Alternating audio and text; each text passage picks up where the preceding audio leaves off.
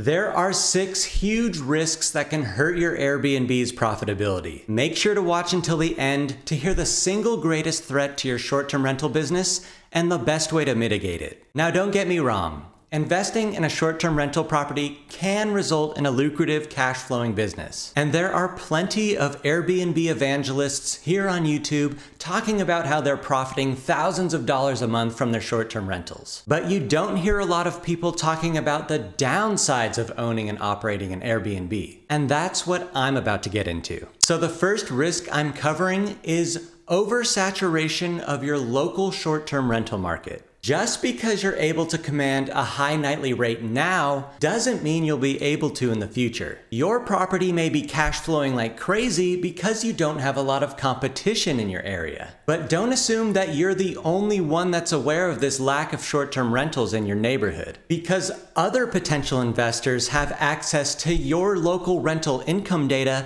through services like AirDNA. So if they see an opportunity in your area that hasn't been saturated yet, you can be sure that they're going to move in and capitalize on it. And since a short term rental property's income is subject to supply and demand just like any other business, if more Airbnbs pop up in your neighborhood, you'll have to drop your nightly rate to stay competitive. The second risk to your bottom line is property damage. Airbnb guests aren't going to treat your property with the same care and respect as long term tenants. And when something inevitably gets damaged, you end up losing a lot more money than you think. Because not only do you have to pay for the repairs to the damage done by your guests, you'll also lose income if the property isn't available to rent during the course of those repairs. So if you have a razor thin profit margin to begin with, a couple of repairs can really wipe out any cash flow that you might have been hoping for. The third potential costly risk to your business is liability issues. I'm not a lawyer, but if a guest is injured while on your property,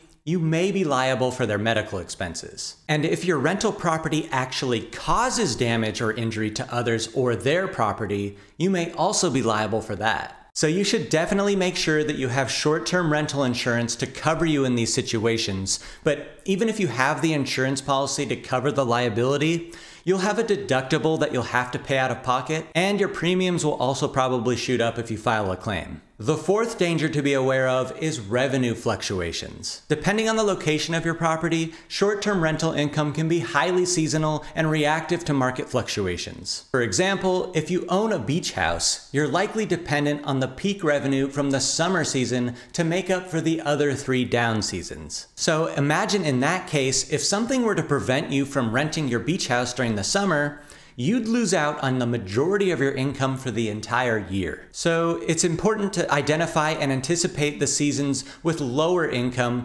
before you invest in a short term rental and make sure that on average, your property will still be profitable over the course of an entire year. The fifth risk to your business is reputation damage from bad reviews. Negative reviews from guests can significantly lower your rating on Airbnb or VRBO and make it difficult to attract future guests. This is especially critical when you're starting out and you don't have many reviews, since one bad review can heavily skew your overall rating. And that brings us to the most significant threat to your Airbnb business the variability of local legal and regulatory rules. Your ability to operate your property as a short term rental can literally be shut down permanently if your local government decides it wants to outlaw short term rentals. So that means that even if you've already been operating a perfectly legal Airbnb for years, your city can just decide one day that you're not allowed to do that anymore. And if you don't stop, They'll slap you with some heavy fines and penalties so that you have no choice but to shut down. And it's not like this is an unlikely scenario. There are countless examples of city after city banning short term rentals or at least placing a cap on the number of them allowed in a specific area. Imagine a scenario where you bought a house because your back of the envelope analysis said that you could get a 20% cash on cash return if you operate it as an Airbnb. But right after you close on the house, the